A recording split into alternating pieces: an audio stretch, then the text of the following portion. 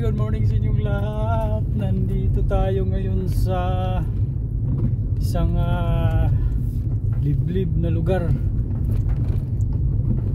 Dito sa Kalayaan, Laguna. Pupunta tayo sa isang barangay. Sa barangay San Antonio. Grabe pala itong ano na to, ang taas.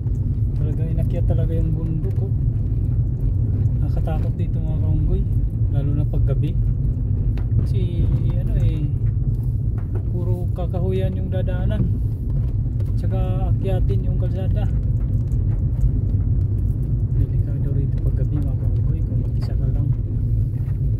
Nakaharangin ka ng kung anong makita mo sigurado may makikita tayo rito sa kalsada ng gabi.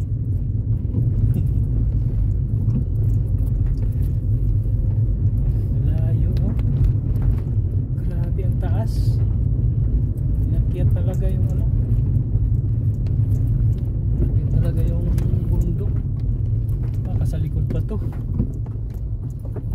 May sapa pa rito oh. Tawid ng sapa oh.